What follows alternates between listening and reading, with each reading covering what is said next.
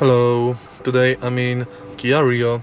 In this video I'll show you how to enable and use voice assistant. In the beginning, let's take a look at the left side of the steering wheel. Right here we've got the button thanks to which we can use voice assistant.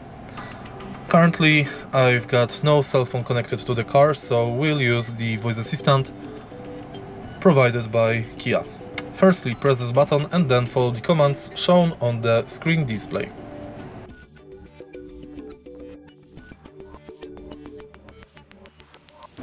Unfortunately, this car does not have the inbuilt voice assistant, so in order to use it, we have to connect smartphone.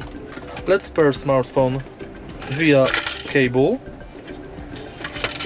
So let's connect the USB cable to the car and now to the smartphone.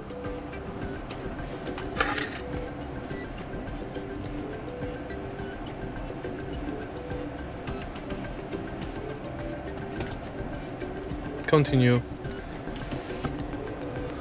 And now we can press this button again and use voice assistant provided by Google. What's the weather like tomorrow?